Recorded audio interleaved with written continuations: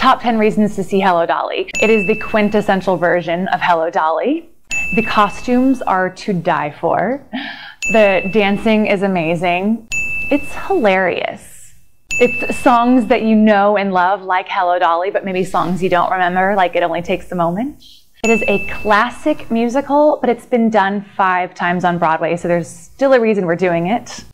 Carolee Carmello, who plays Dolly.